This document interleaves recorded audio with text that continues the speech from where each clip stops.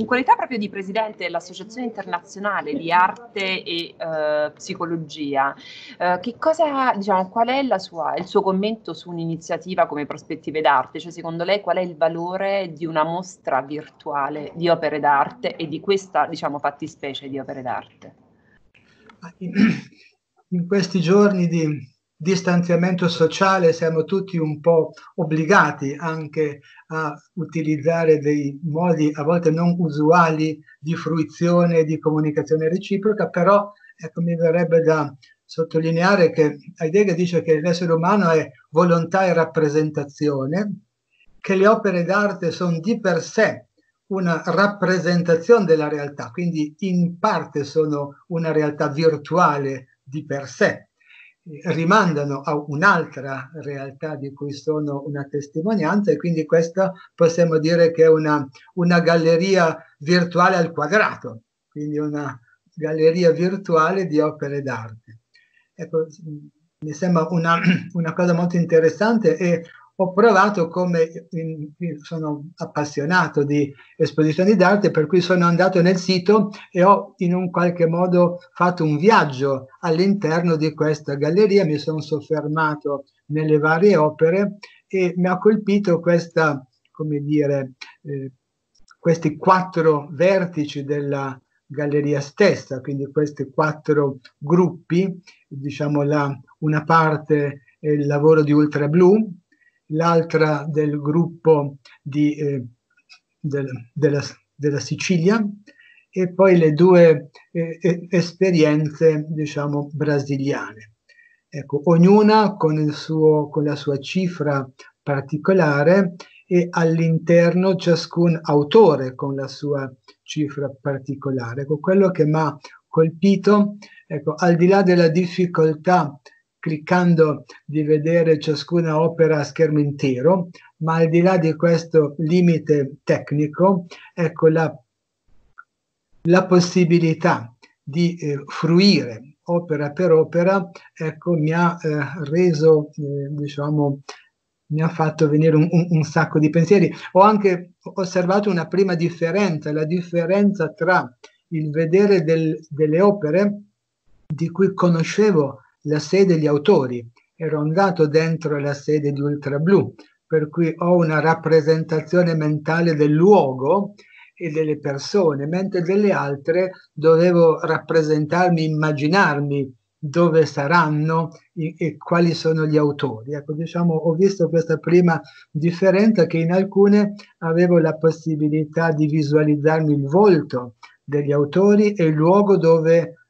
sono nate, mentre nell'altro dovevo in un qualche modo avevo una mancanza di una rappresentazione precisa, ma questo non mi toglieva, cioè il bello della diretta, la possibilità che l'opera mi parlasse senza nessun pregiudizio, non sapevo nulla né sull'autore né sul luogo. Diciamo, la tipologia delle opere, ecco, diciamo, siccome l'iniziativa ha a che fare con una in che modo in questo periodo di chiusura dare il massimo di apertura e di possibilità di riflessione sulla tematica del disagio e della disabilità in rapporto all'arte. Allora quello mi sembra, ecco, non conosco dall'interno tutte le, diciamo, le quattro realtà, conosco più specificamente la realtà di Ultra Blu che, un, che ha permesso di eh, rompere alcuni schemi attorno all'arte outsider. E quindi mh, ecco, l'arte outsider eh, parte dalla concezione iniziale di De Buffet un po' sulla l'arte cosiddetta, era già una rottura del concetto di arte psicopatologica, quindi era cosiddetta l'art brut, quindi un'arte non accademica, possiamo dire che anche i grandi artisti dell'Ottocento che non erano invitati al saloon erano degli outsider. Quindi la grande arte normalmente nasce come outsider, proprio perché se grande arte riesce a essere qualcosa di innovativo rispetto agli schemi e quindi di volta in volta l'arte, il processo creativo, ha la possibilità col far crescere, allargare l'orizzonte. Quindi ecco la esperienza di Ultra Blu trovo sia particolarmente interessante perché ha rotto questo schema del, dell'atelier d'arte delle persone diversamente abili ed è una, eh, come dire, uno spazio di co-working fra diversamente artisti. Sono artisti, ognuno con la sua soggettività e mi piace la nozione che loro usano di normotipici e, o normo atipici, ecco, diciamo questa. E quindi ecco, diversi artisti e allora all'interno dell'esperienza di Urtabù mi ha molto colpito i diversi generi artistici tra l'esperienza dell'iperrealismo del collega che diciamo dipinge gli autobus di Roma con delle e quindi in un qualche modo inserendosi in un filone della, dell'arte moderna, dell'iperrealismo con particolare competenza. Poi diciamo le, eh, le altre, gli altri lavori del finissimo fumetto, possiamo dire, delle parate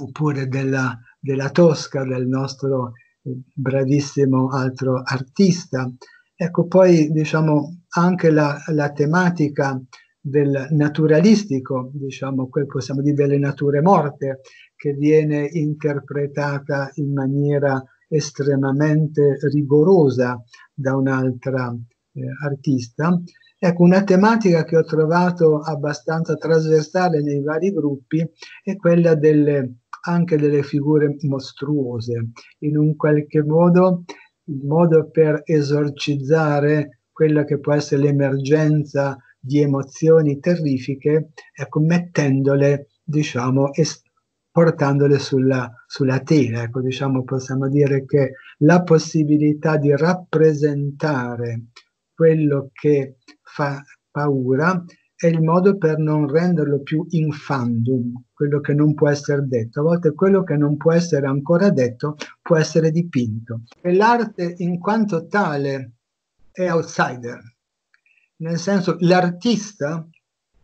la funzione diciamo educativo-catartica dell'artista è che riesce, ecco Freud dice con una, una precisione estrema, dice l'artista è colui che in preda a struggenti desideri riesce a eh, realizzare un oggetto che ha stesse, per alcuni aspetti gli stessi effetti della realtà. Faccio un esempio a Reggio Emilia, quando fu ricoverato alcune volte in ospedale psichiatrico, Ligabue, aveva disegnato nella parete della camera da letto dove dormiva una eh, tigre estremamente realistica e il suo vicino, ecco, di letto, aveva molta paura, come se la potenza dell'artista è che riesce a creare un oggetto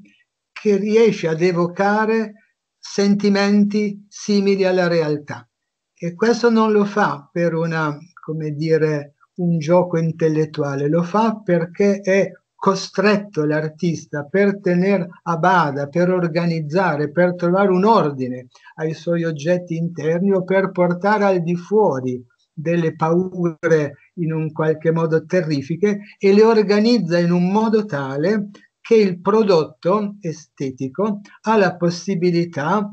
di permettere anche ad altri attorno a lui di avvicinare questi vissuti. Quindi possiamo dire che qualunque artista, se è un vero artista, ha la possibilità, proprio perché è in presa diretta con delle parti in ombra di se stesso che non conosce consapevolmente, ma ha la possibilità di interpretare e tradurre attraverso l'opera, l'opera d'arte. Ecco, una volta che ha prodotto l'opera è compito dei critici cercare che cosa c'è dentro. Ecco, l'artista ha finito il suo lavoro di testimonianza portando fuori, quindi in qualche modo è un educatore, nel senso di educere, tira fuori da quello che è in ombra qualcosa che diventa nutrimento anche per tutti gli altri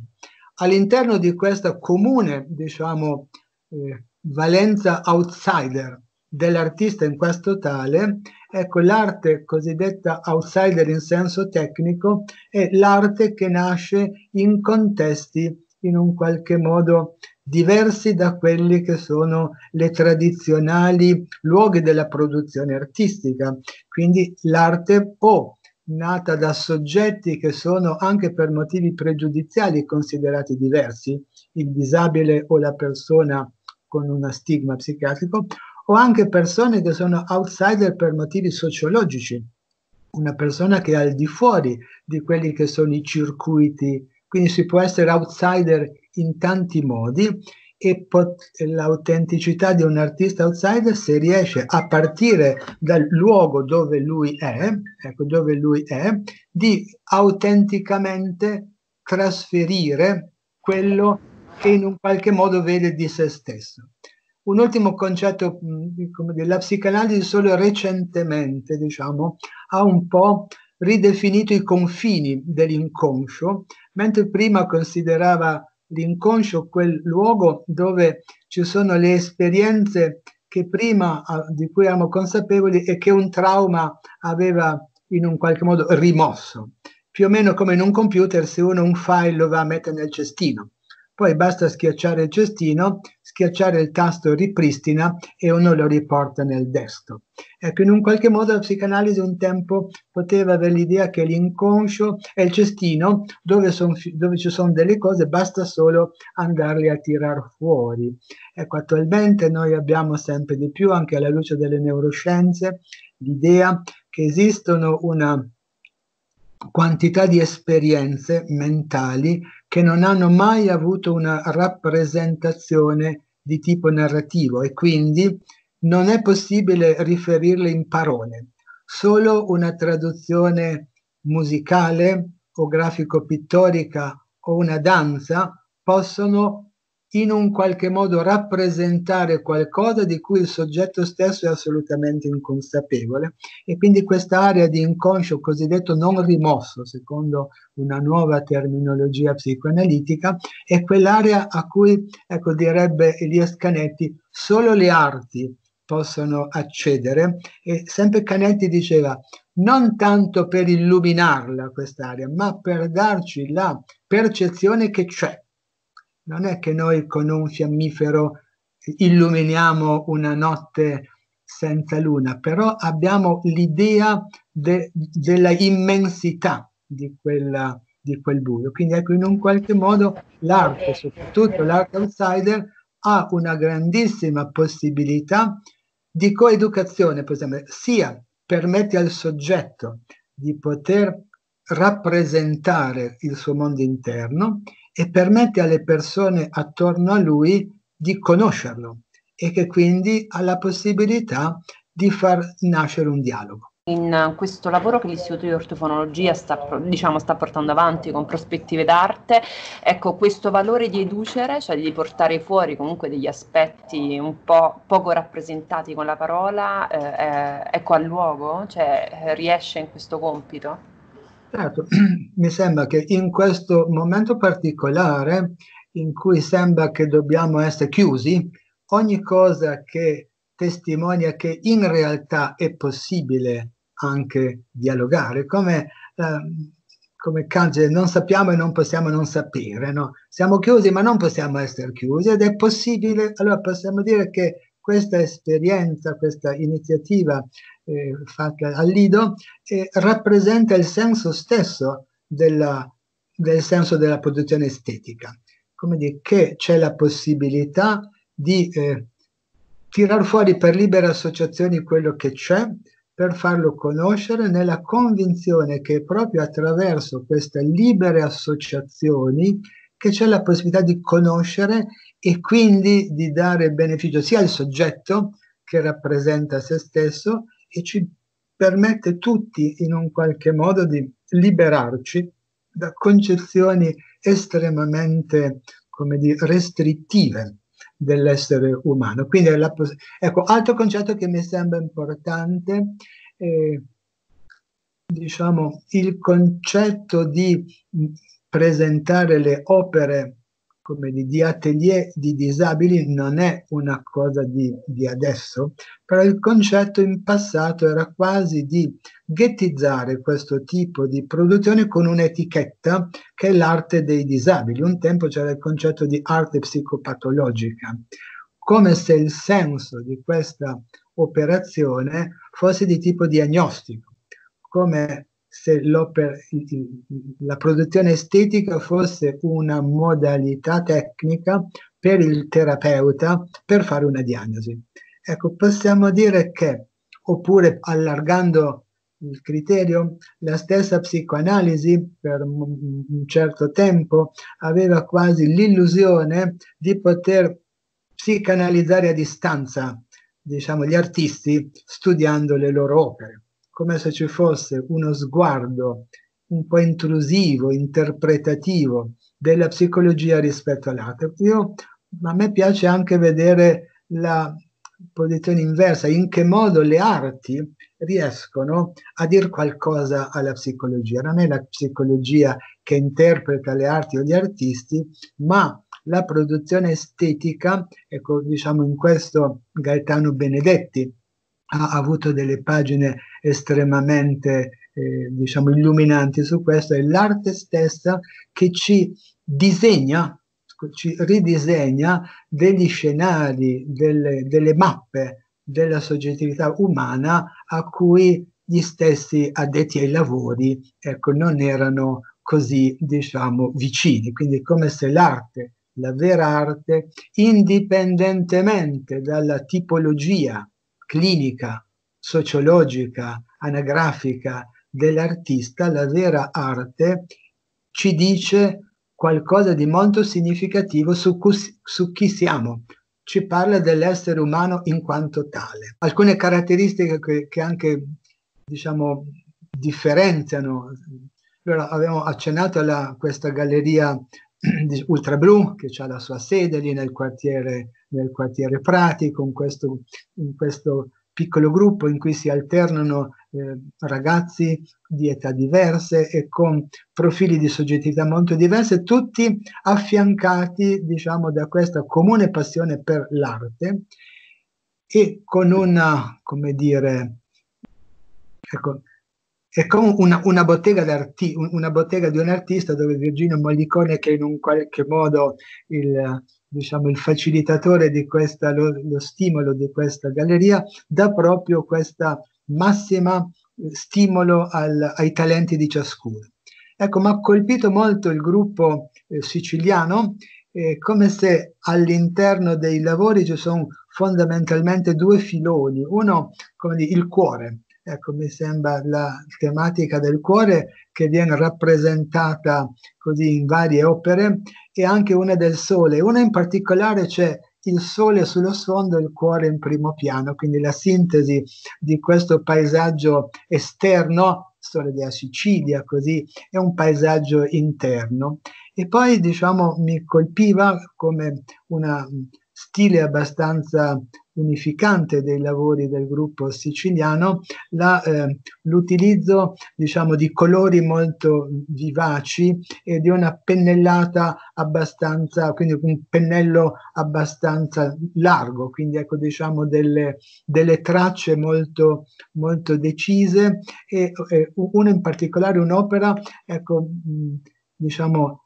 traccia, ecco, non tanto in termini naturalistici, una parte solo del cuore o il sole, ma una, un profilo intero di una persona, quindi tutti questi oggetti che in un qualche modo si possono sintetizzare in quello che è il, il soggetto intero, come i vari oggetti parziali nello sviluppo umano attraverso l'empatia, attraverso il rispecchiamento, ecco diciamo una specie di idea che una soggettività adulta matura implica un noi, quindi un qualcosa che noi abbiamo messo insieme, la razionalità, la fantasia, io, l'altro, il mondo interno e il mondo esterno.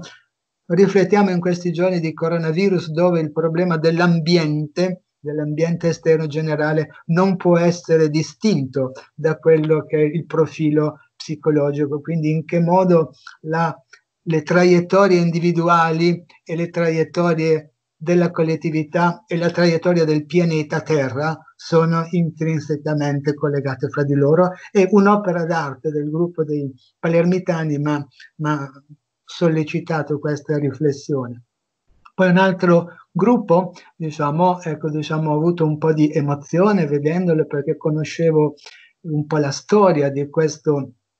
di questo museo, un po' delle esperienze di Nise de Silveira in Brasile, questa donna straordinaria, la prima donna medico del Sud America, la prima donna psichiatra del Sud America e la prima psicoanalista, possiamo dire, anche del, del Sud America. Potremmo anche dire, eh, come dire, junghiana naturale, nel senso che ha conosciuto Jung, che lei era già, già formata, quindi aveva già fatto queste esperienze, per cui ebbe più una specie di conferma dall'incontro con Jung di alcune sue intuizioni, dove essendo donna sudamericana, possiamo dire, aveva, era stata un po' avvantaggiata nel, nel suo processo di avvicinamento al mondo interno. E ecco, lei realizzò all'epoca, immaginiamo moltiplicandolo per cento le, dif- le, difficoltà che può aver avuto pensando a quelle che ha avuto Basaglia in Italia. Quindi immaginiamo questa donna che all'interno di un ospedale psichiatrico ha cominciato a utilizzare questo codice delle arti grafico pittorica, ma anche la musica, la danza, e a documentare e raccogliere questi prodotti dei pazienti intesi come prodotti di artisti, come se la dignità del paziente viene ulteriormente confermata così leggendo la sua opera come un'opera che ha lo statuto di un'opera d'arte e di conseguenza il paziente ha lo statuto dell'artista. Ecco, questo mi sembra, ecco, ecco le opere ecco, di, del gruppo lì della, eh, originato dall'esperienza di Nisa del Silvea colpiscono per la, eh, diciamo, l'intensità del, del, colore e in un qualche modo il genius loci. Ecco, ecco l'altro gruppo invece sempre brasiliano di non ricordo la città, ecco, Sao Tomé, se ricordo bene, sì, ok? Ecco, mi colpisce per la differenza all'interno delle produzioni tra eh, una parte più minimalista, diciamo, fatta solamente con la matita, sono disegni in bianco e nero, dove eh, però, ecco, anche qua, le foto in bianco e nero a volte riescono a, a rendere diciamo, diciamo, i contrasti in maniera molto precisa. Quindi ecco, questi disegni apparentemente minimali, apparentemente tipici diciamo, di quelli che può essere il disegno infantile, ma se letti con molta attenzione, ecco, ci rivelano dei segreti inesplorati. Anche lì ricordo che c'è una specie di, eh, una specie di variante moderna del drago, non so se il drago oppure un qualcosa tipo eh, guerre stellari, una specie di, di, figura che non sappiamo se è il difensore dal, dal nemico oppure il nemico stesso, in un qualche modo qualcosa di molto meccanico, elettronico, di sicuramente molto potente,